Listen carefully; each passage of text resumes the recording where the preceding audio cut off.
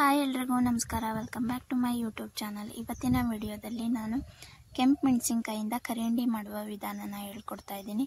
ತುಂಬ ಹಳೆ ರೆಸಿಪಿ ಇದು. ಉಪ್ಪಿನಕಾಯಿ ಥರನೇ ತುಂಬ ಚೆನ್ನಾಗಿರುತ್ತೆ. ಸೊ ಬನ್ನಿ ಹಾಗಾದರೆ ಯಾವ ರೀತಿ ಮಾಡೋದು ಅಂತ ವಿಡಿಯೋ ನೋಡ್ಕೊಂಬರೋಣ. ಇದು ರೊಟ್ಟಿಗೆ ಮೊಸರು ತಿಂದರೆ ತುಂಬ ಚೆನ್ನಾಗಿರುತ್ತೆ. ಅನ್ನಕ್ಕೂ ತುಂಬ ಚೆನ್ನಾಗಿರುತ್ತೆ. ಸಪ್ರೇಟ್ ಸಾಂಬಾರು ಅಂತ ಏನು ಬೇಕಾಗಲ್ಲ ಇದು.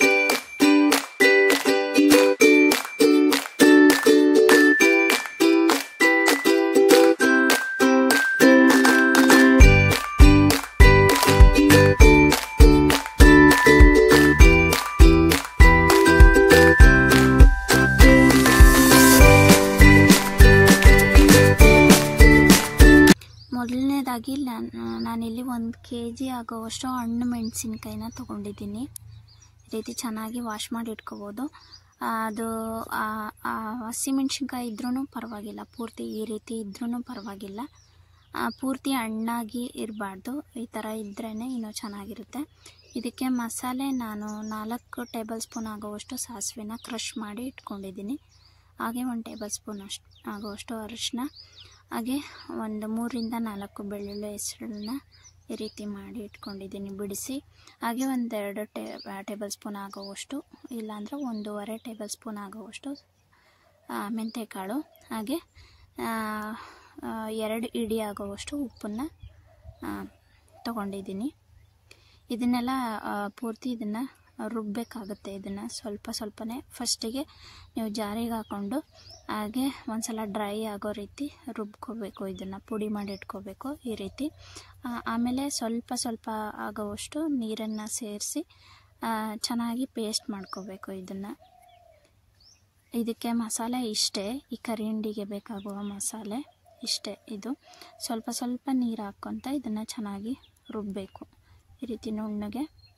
ನೀವು ಉಪ್ಪಿನಕಾಯಿ ಸಾಮಗ್ರಿಗೆ ಹಾಕ್ತೀರಲ್ಲ, ಸೇಮ್ ಅದೇ ರೀತಿಯೇ ಇದಕ್ಕೂ ಚೆನ್ನಾಗಿರುತ್ತೆ. ಇದು ಒಂಥರ ಕೆಂಪು ಮೆಣಸಿನ್ಕಾಯಿ, ಉಪ್ಪಿನಕಾಯಿ ಅಂತ ಅನ್ಬೋದು. ನಮ್ಮ ಕಡೆ ಕರಿ ಕರಿ ಕರಿಂಡಿ ಅಂತ ಕರಿತೀವಿ.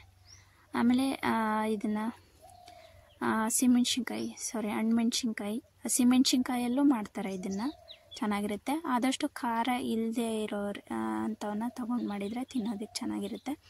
ನಾನಿಲ್ಲಿ ಇದನ್ನ ಮೆಣಸಿನ್ಕಾಯಿನ ಮುರಿದು ಜಾರಿಗೆ ಸುಲಭವಾಗಿ ಸಿಗೋ ರೀತಿ ಮುರ್, ಮುರಿದು ಸ್ವಲ್ಪ ಸ್ವಲ್ಪನೇ ಉಪ್ಪು ಹಾಕ್ತಾ ನಾನು ತರ್ತರಿಯಾಗಿ ಈ ರೀತಿ ರುಬ್ಬಿ ಮಣ್ಣಿನ ಮಡಿಕೆಯಲ್ಲಾದ್ರೂ ಹಾಕ್ಬೋದು. ಇಲ್ಲಾಂದರೆ ನೀವು ಯಾವುದನ್ನ ಉಪಯೋಗಿಸ್ತೀರೋ ಆ ಪಾತ್ರೆಯಲ್ಲಿ ಹಾಕಿ ನಾನು ಉಪ್ಪು ತಗೊಂಡಿದ್ನಲ್ಲ, ಅದನ್ನು ಸ್ವಲ್ಪ ಸ್ವಲ್ಪನೇ ಸೇರಿಸ್ತಾ ಈ ರೀತಿ ತರ್ತರಿಯಾಗಿ ರುಬ್ಬಬೇಕು ಇದಕ್ಕೆ ನೀರು ಸೇರಿಸೋ ಅಗತ್ಯ ಇಲ್ಲ.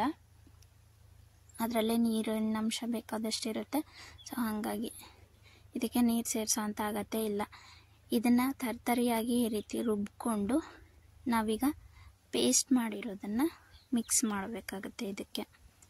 ಸ್ವಲ್ಪ ಟೇಸ್ಟ್ ನೋಡಿ, ಉಪ್ಪು ಏನಾದರೂ ಸಾಲದಾಗಿದ್ದರೆ ನಾನು ಎರಡು ಇಡಿ ಆಗೋವಷ್ಟು ತೊಗೊಂಡಿದ್ದೀನಿ, ಒಂದು ಕೆ ಜಿ ಮೆಣಸಿನ್ಕಾಯಿಗೆ.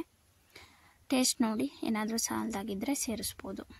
ಇಲ್ಲಿ ಮಸಾಲೆನ ರುಬ್ಬಿಟ್ಕೊಂಡಿದ್ನಲ್ಲ, ಅದನ್ನು ಸೇರಿಸ್ತಾ ಇದ್ದೀನಿ. ಜಾರಲ್ಲಿ ಇರೋ ಇರೋದನ್ನೆಲ್ಲ ಹಾಕಿ ಸ್ವಲ್ಪ ನೀರು ಹಾಕಿ ಮಿಕ್ಸ್ ಮಾಡ್ತಾಯಿದ್ದೀನಿ ಅದರಲ್ಲಿರೋ ಮಸಾಲೆನೆಲ್ಲ ಹಾಕ್ತಾಯಿದ್ದೀನಿ ಇದರಲ್ಲಿ. ಚೆನ್ನಾಗಿ ಒಂದ್ಸಲ ಮಿಕ್ಸ್ ಮಾಡಬೇಕು ಇದು. ಇದು ಅರಿಶಿನ ಹಾಕಿರ್ತೀವಲ್ಲ ನಾವು, ಅದು ಹುಳಿ ಬಿಟ್ಕೊಳ್ಳುತ್ತೆ ಜಾಸ್ತಿ ಏನು ಹಾಕೋದು ಬೇಡ. ಆವಾಗೇ ನೀವು ತಿಂದು ಖಾಲಿ ಆಗಬೇಕು ಅಂತ ಅಂದರೆ ಹಾಕಿದರೆ ಪರವಾಗಿಲ್ಲ. ಲಾಂಗ್ ಟೈಮ್ ನೀವು ಇಟ್ಕೊಂಡು ತಿನ್ನೋದಾದರೆ ಅರಿಶಿನ ಅಷ್ಟೊಂದು ಹಾಕ್ಬಾರ್ದು, ಒಂದು ಟೇಬಲ್ ಸ್ಪೂನ್ ಆಗೋವಷ್ಟು ಹಾಕ್ಬಾರ್ದು. ಏಕೆಂದರೆ ಹುಳಿ ಅಂಶ ಜಾಸ್ತಿ ಬಿಟ್ಕೊಳ್ಳೋದ್ರಿಂದ ಜಾಸ್ತಿ ದಿನ ಬಾಳಿಕೆ ಬರಲ್ಲ ಕರಿ ಹಿಂಡಿ. ಸೊ ಹಂಗಾಗಿ ಸ್ವಲ್ಪ ಹಾಕಿದರೆ ಸಾಕು. ನೀವು ಸ್ವಲ್ಪ ಪ್ರಮಾಣದಲ್ಲಿ ಮಾಡ್ತೀವಿ ಅಂತ ಅಂದರೆ ಪರವಾಗಿಲ್ಲ, ಒಂದು ಸ್ವಲ್ಪ ಹಾಕಿದರೆ ಸಾಕು. ಏಕೆಂದರೆ ಬೇಗ ಖಾಲಿ ಆಗೋಗುತ್ತಲ್ಲ. ಲಾಂಗ್ ಟೈಮ್ ನಾವು ನೀವು ತಿಂತೀರಿ ಅಂತ ಅಂದರೆ ಸ್ವಲ್ಪ ಹಾಕಿದರೆ ಸಾಕು ಅರಿಶಿನ ಈ ರೀತಿ ಇದು ರೆಡಿಯಾಗಿದೆ ಇದು ಒಂದೆರಡು ದಿನಕ್ಕೆಲ್ಲ ತಿನ್ನೋ ಹಾಗೆ ಆಗಿಬಿಡುತ್ತೆ ಇದು. ನೋಡಿದ್ರಲ್ಲ ಇವತ್ತಿನ ವಿಡಿಯೋ ನಿಮಗೇನಾದರೂ ಇಷ್ಟ ಆದರೆ ದಯವಿಟ್ಟು ಈ ವಿಡಿಯೋಗೆ ಒಂದು ಲೈಕ್ ಮಾಡಿ, ಎಲ್ರಿಗೂ ಶೇರ್ ಮಾಡಿ. ತಪ್ಪದೆ ನನ್ನ ಚಾನಲ್ಗೆ ಸಬ್ಸ್ಕ್ರೈಬ್ ಆಗೋದನ್ನು ಮರಿಬೇಡಿ. ಮತ್ತು ನಾನು ಇನ್ನೊಂದು ರೆಸಿಪಿಯೊಂದಿಗೆ ನಿಮ್ಮನ್ನೆಲ್ಲ ಭೇಟಿ ಆಗ್ತೀನಿ. ಅಲ್ಲಿವರೆಗೂ ಅಂಟೆ ದಂಟೆ ಕೇರ್